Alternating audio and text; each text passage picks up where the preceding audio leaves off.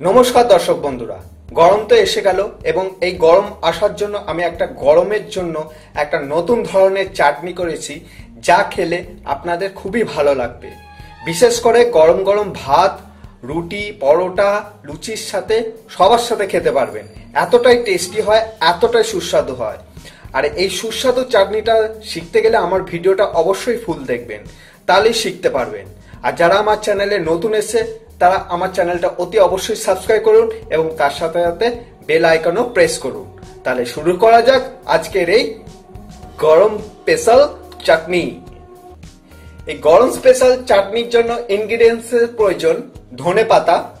এরকম আপনারা এরকম সবুজ ধনে পাতা নিয়ে নেবেন তারপর লাগবে একটা টমেটো। এই টমেটোটাকে জাস্ট সিদ্ধ করতে হবে। তাই সিদ্ধর জন্য আমরা মাথার ওপরটা জাস্ট ক্রস ওয়াইজ আমরা কেটে নিচ্ছি, এরকম করে কাটতে হবে, এরকম ক্রস ওয়াইজ তারপর লাগবে একটা ছোট পেঁয়াজ, তারপর লাগবে রসুন পেস্ট আপনারা রসুন পেস্টও দিতে পারেন, অথবা রসুন কোয়া দিতে পারেন। তারপর লাগবে নুন। এগুলো হচ্ছে ইনগ্রিডিয়েন্টস এবারে দেখে নেওয়া যাক পরের পদ্ধতি। এবারে এই জিনিসগুলোকে আমরা পেস্ট করব। পেস্টের জন্য একটা আমরা মিক্সার গ্রাইন্ডারে মেশিন নিয়েছি। এবারে এর মধ্যে আমরা যে ধনে পাতাগুলো রয়েছে, এই ধনে পাতাগুলোকে আমরা জাস্ট একটু ছিঁড়ে নিচ্ছি ভালো করে। ভালো করে ধনে পাতাগুলোকে ধুতে হবে, ধুয়ে তারপরে জিনিসটাকে অ্যাড করবে। তা আমরা ধনে পাতাগুলোকে এর মধ্যে অ্যাড করে নিচ্ছি এবারে ধনে পাতার মধ্যে আমরা দিচ্ছি, তারপরে দিচ্ছি কাঁচা লঙ্কা। আমরা এর মধ্যে কাঁচা লঙ্কাগুলোকে জাস্ট ভেঙে দেব। তারপরে দিচ্ছি পেঁয়াজ। এই গোটা পেঁয়াজটাকে আমরা দেব না, এই পেঁয়াজটাকে আমরা জাস্ট কেটে দেব। আধখানা করে কেটে নিলে জিনিসটা ভালো হবে। আমরা দেখে নিন, চার টুকরো করে নিয়েছি পেঁয়াজটাকে।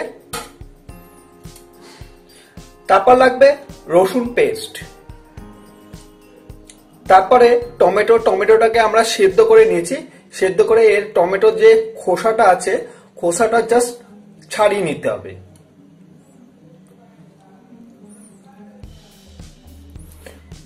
আমরা খোসাটাকে জাস্ট ছাড়িয়ে নিয়েছি। তারপর লাগবে আধখানা লেবুর রস।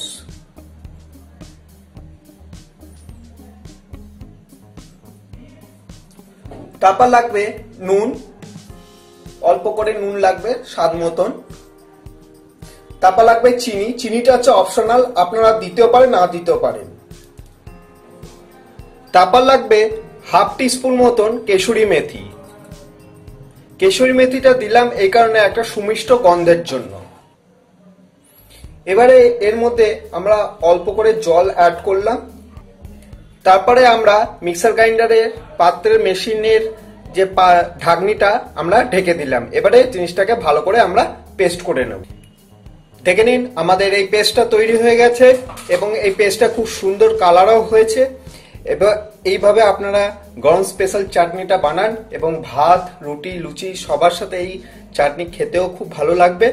আর এই পেস্টটা আপনারা অন্তত এক মাস সংরক্ষিত করে আপনারা ফ্রিজে রেখে খেতে পারবেন। তা যদি আমার ভিডিওটা ভালো লেগে থাকে, তাহলে প্লিজ আমার চ্যানেলটা সাবস্ক্রাইব করুন, লাইক, শেয়ার এবং কমেন্ট করুন। Thank you so much